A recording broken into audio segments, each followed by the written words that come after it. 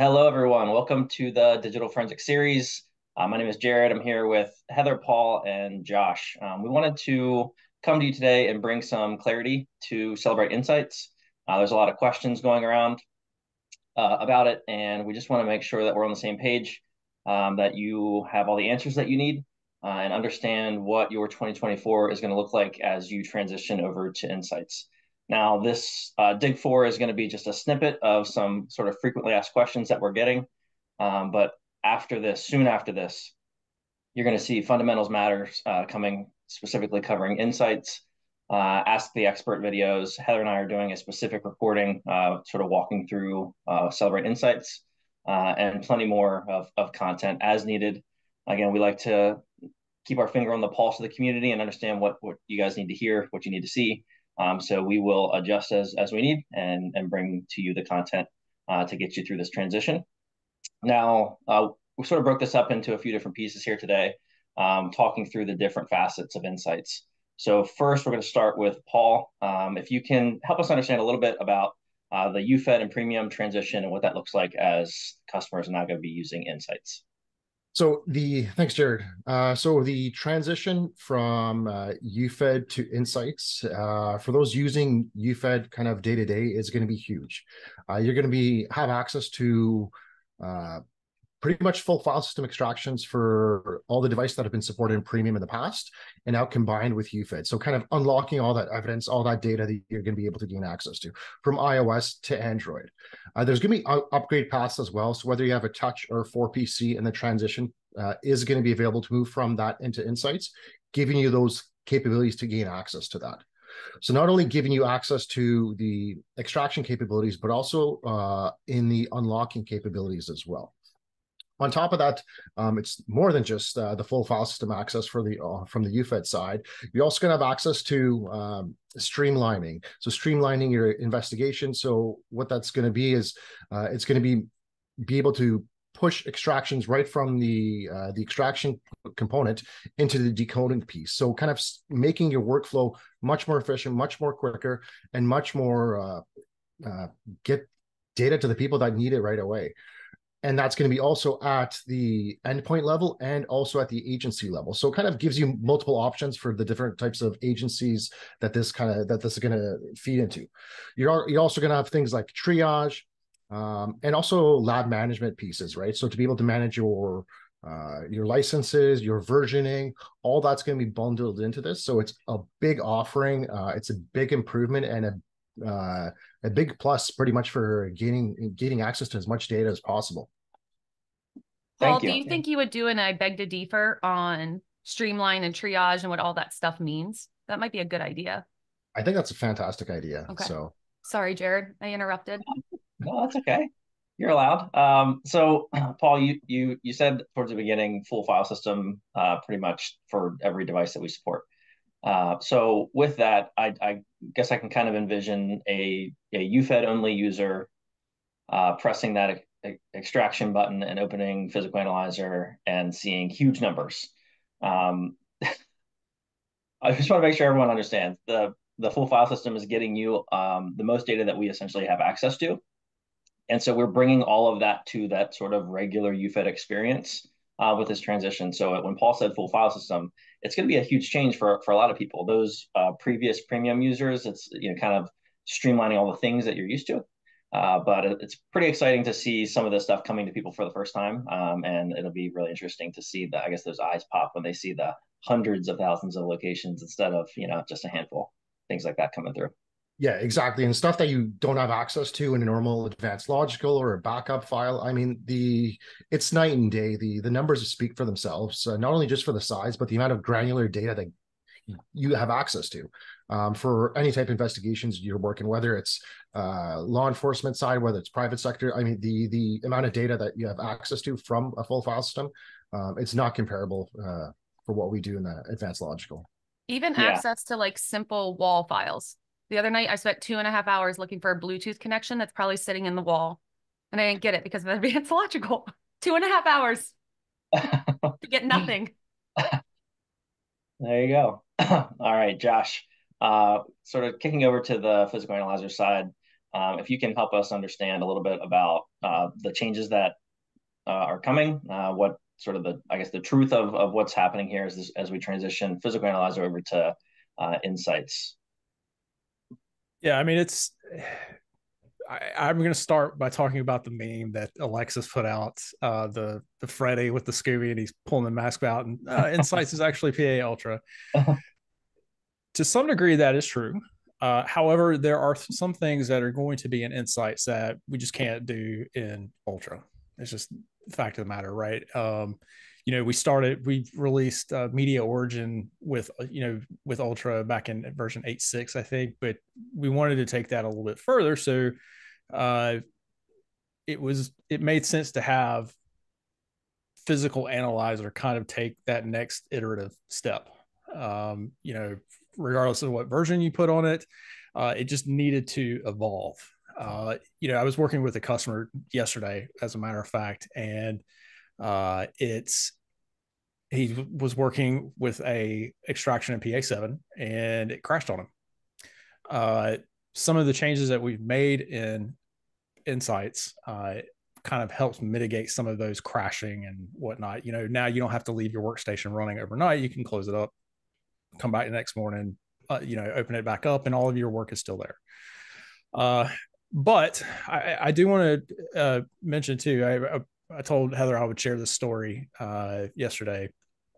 Uh, I was prior to Cellebrite, I was with Kroll, uh, which is a private consulting firm, and one of the things I was asked to do while I was there was to evaluate uh, PA eight um, at the time, and basically, should we go ahead and migrate to this, or should we keep keep PA seven on you know on the uh, virtual machines that we had?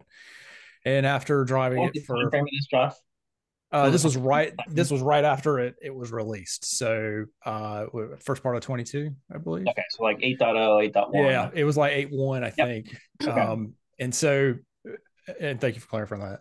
Sure. Uh, so after driving it for a few weeks, I went back and I was like, I don't think it's there yet. I just don't think it's quite ready. Uh, there were some features that were in seven that were missing, and you know there were some performance issues, but and it's come a long way uh, since those early days. Uh, you know, when I started here at Cellebrite last year, uh, I made a point to go ahead, and I had been PA7 user up until that point. I went ahead and I was like, all right, if I'm going to be testing this thing, I need to get familiar with it. And now I don't, I hardly ever fire up seven anymore.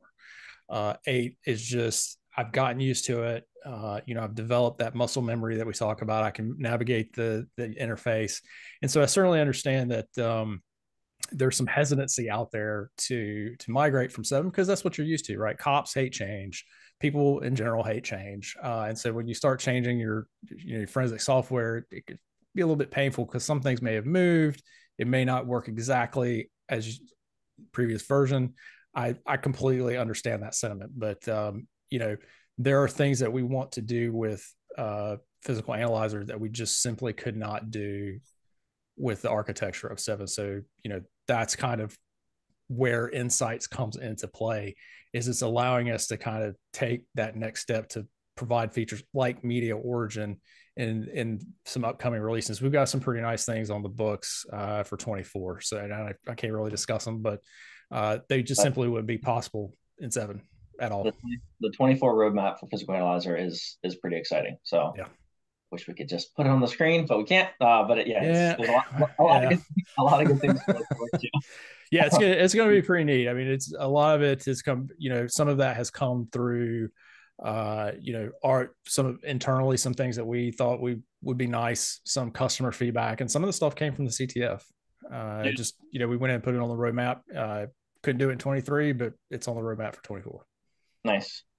Um, so obviously we are we're sort of in the midst of of a rebrand, um, new emblems and and names and things, and it's you know fun to poke at it. Uh, and oh, I'm I'm so used to that thing, and I think if you looked at the PA logo, it's like a like a piece of paper like being shredded or changed into smaller things. Like if you really yeah. look at the thing that you're used I'm to. I'm glad you know what it is, Jared. oh, exactly right. So um, you know, it's one of these things. Just you're so used to the thing. And and Josh, you said about muscle memory, and I remember after uh, having switched over to uh, PA Ultra. which Of course, now it will be uh, Inseyets.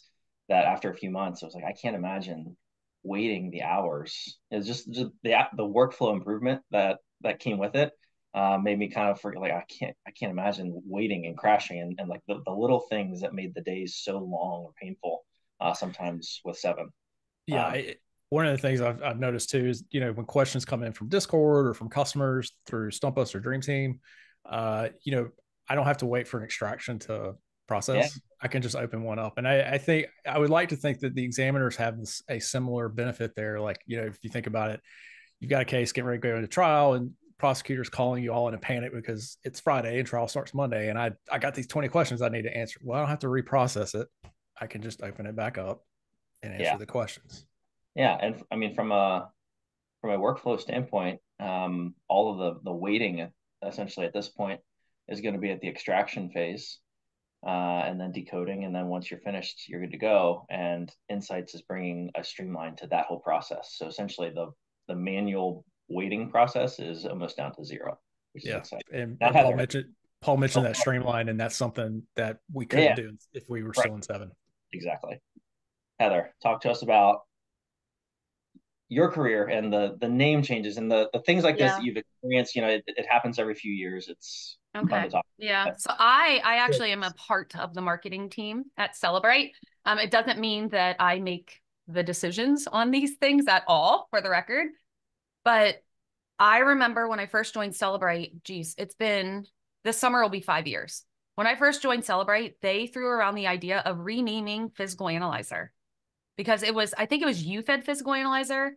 And they were like, it should be Cellebrite Physical Analyzer. It really has nothing to do with the UFED. And I flat out told marketing, who cares? You can call it UFED, you can call it Cellebrite, you can call it Inseyets. People are going to call it PA. It's still PA. It's going to be PA 10. So whatever we call it, whatever little icon is there. I remember freaking out when it went from the blue icon to orange. I didn't like it. I was, I know my desktop, I know I'm going to search for a blue icon, but I had no idea that it's a piece of paper even shredding. I don't, clearly the eye stands out a little bit more. So we're not going to hide from the eye.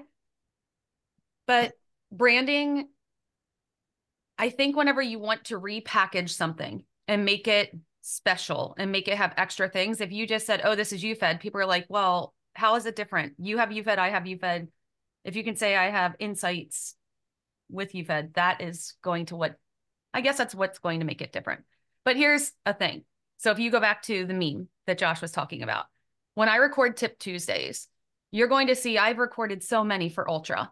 And I did not switch to PA8 until the CTF. So I would say around August is when I finally gave up seven and put my faith into eight. And I, just like Josh said, I've only been using eight since then. Um, every Tip Tuesday I recorded, I think I usually say like, here in PA Ultra, I want to show you this, or here in PA 8. All of those are still going to exist. And what marketing is going to do is put a little banner saying this was recorded in PA Ultra. It is the same for Inseyets. Because it's not that we're trying to sell you something brand new and pretend it's something different there's just going to be in this tip Tuesday, if you're using Inseyets with PA10, you're going to see this feature, this feature, this feature. And as Josh was saying, people who are uncomfortable with fumbling around, there will be an entire fundamentals matter. There's also going to be mini, like five to seven minute how to keyword search, how to navigate folder view, um, how to export files, simple things that we all do that may look a little bit different. There will be a video for everything. So it's the same PA. PA is not dead. PA for life. I, you know what? I'm from Pennsylvania. I should get like a PA, PA tattoo. Because if you're from Pennsylvania, you say PA, it's physical analyzer. I'm a, a PA life. For life. But I will, so, I honestly, I will give a little shout out to um, Lisa Cole is my boss. And I will say I worked with Nate, who is a brilliant designer that we have here at Cellebrite and comes up with all this creative stuff for us and our community that is being released shortly, the 101. Um, some people had some, what do I want to call it? Some eyesight into that. What do you like that? You like that? Some insight into the community. But the community also has the eyeball. And the reason is I want us as a team of people that do this work every single day. We see everything. We're aware of everything. It's kind of like when you're little and you hear like your mother has eyes on the back of her head. Like we have that eye that sees everything you do at all times. So you will see the 101 also has a different eyeball, but I was first. It was ours first. It was mine and Nate's first. And it was just so cool that it had to be stolen from. But in all seriousness, the 101 is going to be announced shortly. Um, if you hit our landing page next week, you are going to see that we are running our first ever global summit. It's going to be the C2C close or case to closure summit in Washington, D.C. in August. Um, a call for speakers is going out as well. So we want to hear your talks. We want to hear from you. Um, there's going to be a Digital Justice Awards ceremony that we're holding as well. Um, Operation Find Them All with Jared's Uplift series is coming. We have more Dig for, I Beg to Differ, Tip Tuesdays, webinars, blogs, the notebook, all the things. So all of the things are going to simplify this for you. Um, as I said earlier, I suggested to Paul to do specific I beg to Differs on what these things mean, how you can leverage them, why it makes a true difference. Uh, Jared mentioned earlier, we're doing a webinar talking through all the statistics, all the marketing stuff you've seen. Jared and I are going to put the why behind it. Yeah, I want to make one clarification. Um, for anyone that opens uh, Inseyets PA, it looks it's not something new. Like the the user interface is not, not like this shocking experience, right? You're going to be just as comfortable as you were in seven, and that maybe tiny bit of change to eight um, and so it's, there's not some shocking change. Um, for UFED, UFED only customers, you are going to experience uh, essentially what was the premium interface, right? So we, are a little bit of a change from the extraction point. Um, but Paul, you can probably attest to this. we put a ton of effort into simplifying that yeah. to like as few clicks as possible so that you don't have to know much or guess. It's like devices plugged in, ready to go. Uh, so nothing shocking coming with with this change other than hopefully some some new features uh, that you'll be excited about uh, and and all good things. But we we won't won't leave you confused along the way. Uh, we will be here with content and and support to make sure that everything is as clear as it can be. And if we need to make something specific we'll do it.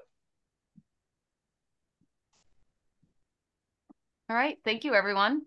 We hope to see you back for the next dig for